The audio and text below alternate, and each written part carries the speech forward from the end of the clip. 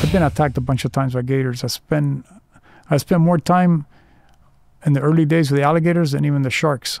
Really? In my I encountered sharks. I started working hunting sharks at 25. In my 40s, I started interacting with sharks, but I was hand catching alligators since high school, all the way until until you know the later years. Now, what is your process if you're, you know, one weekend you feel the urge to go catch an alligator in the wild in some lake in Florida? How? What is the process on in going about catching a gator by hand? Well, back in the day, uh, I would dive on them, have somebody hold the light on them. I'd come running and dive on them and At tackle night? them at night. Tackle them, hold them any which any which way I could.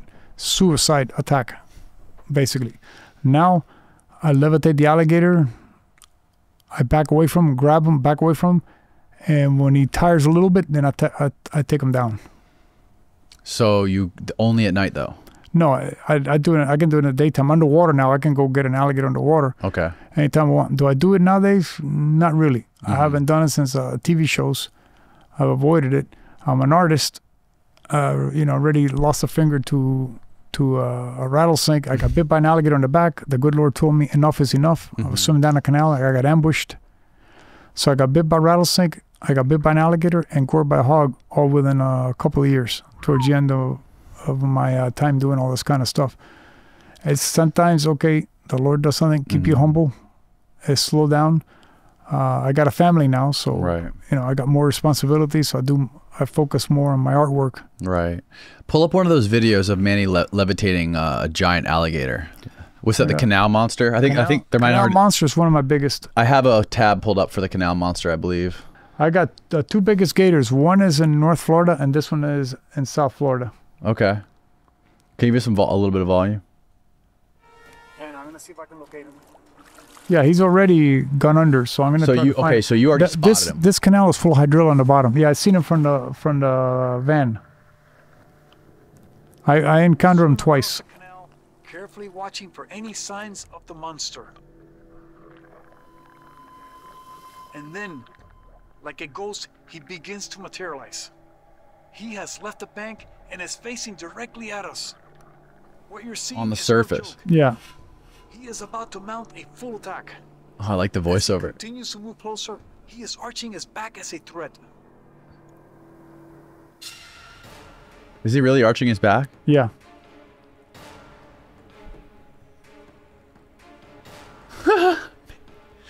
This thing is literally swimming right towards you. Right. But if he's going to attack you, he's not going to just be chilling on the surface like that, is he? He's going under now. Oh, now he's going under. As he sinks below the surface, I dive all the way to the bottom. Get below him and grab him by the shin. Oh my god. This stops the attack, but now I have a dinosaur on my hands.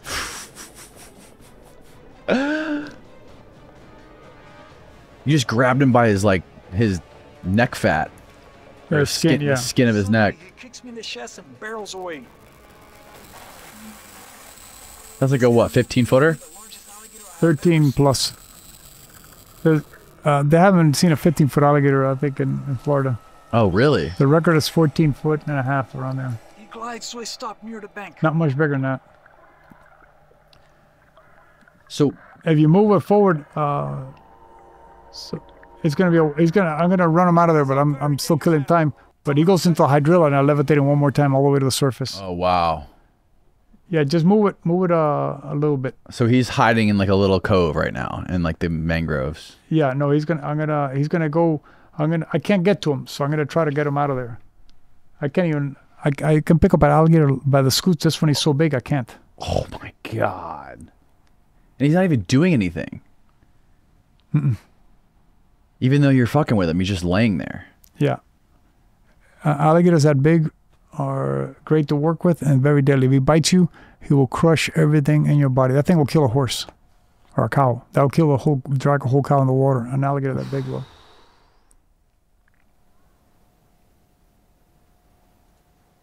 Oh, he's trying to escape. He's trying to run away.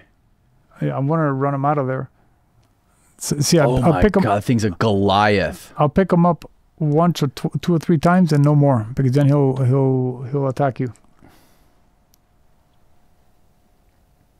still trying to escape on the very bottom. Well, no, he goes into the hydrilla. Now I got to go find him in the hydrilla.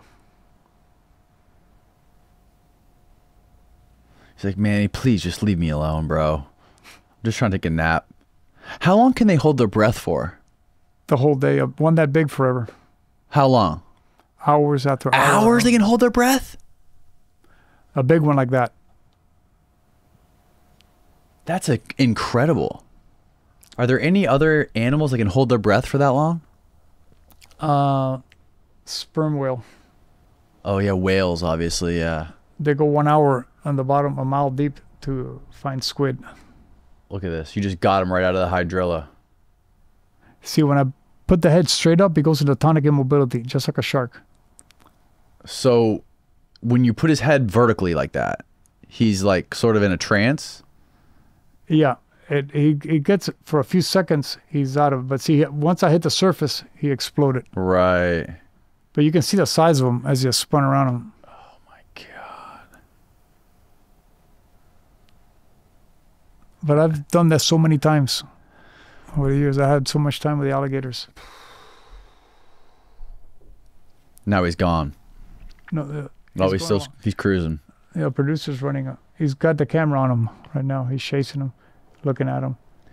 Do He's you talking about it. See, Do you think that you're more by that time I told I told Quit, no, no, no more. Leave him. Back off. Right, right, right. He's pissed now. Do I think what? I'm saying are are are humans more vulnerable in the water with a gator or like right next to the shore? Uh, in the water, probably. Probably. Because on shore, you can jump back or do something. You still got you're you're more clumsy in the water. The alligator is very agile in the water. Mhm. You know, he can catch fish underwater. He's super fast. But they can run extremely fast, can't they? Short, no, just a short burst from here to here. Just You a can- short burst. He's not going to catch you. If you see him coming down the road at you, just run the other way. He's not going to catch you. Really? Everyone I've always heard that like if you run in zigzags, like they can't they can't make sharp just turns. run straight. Uh, if you're behind a a tree or something or a post, you get behind him. He's got to get around it, so you can always get around it. And he he can't get around it. You know, he's here, he's got to attack this way. He's got to back away, so you can get on this side. So you're gonna be around the post all day long, Oh, okay. like He a telephone pole. He can't get you. No, if you if you use your brain, he can't bite you. Right. If you get behind the telephone pole, it goes this way. You go this way. You go this way. Right, right, right, right. He can't get you. And what happened when you actually got bit by one? Uh, I felt like somebody hit me with a baseball bat across baseball bat across my back. I was swimming down a canal, and I was looking for fish to hand catch. I already levitated a couple alligators that day, and I got lazy. Didn't look behind me. You're supposed to look behind you in case one is sneaking up on you. And sure enough, one came behind me and bit me on the back. I felt like a bomb went off on my back. He didn't get a good grip on me. If he would have got a hold of my arm, he would have ripped it off. But he, he kind of like slipped away from my wetsuit, pulled away with Mm. and he didn't, he put 12 scratches on my back and a bruise here. He didn't get a good grip on me. And I was able to get away from him and I came out pretty good from that one. I went after him, chased him off. Oh, you charged him? Yeah, confronted Right after him. he did that? Yeah, I grabbed him by the neck and all that and went with him to the bottom and then he took off. What? Well, in order to turn around over so he doesn't come after me again. And then I, I was able to get on the airboat and I said, if I could get an airboat, you know, kick up on it on the side, I might be okay. When I pulled my wetsuit back, they took a picture. Okay, it's not that bad. But I said, I, I got to get in and put bleach on it and everything's Because they can infect you. yeah. And but it, when I saw it wasn't that bad, it came out very good out of it. They just pour some some liquor on it and you you were good. Uh, yeah, it came out very good from that one.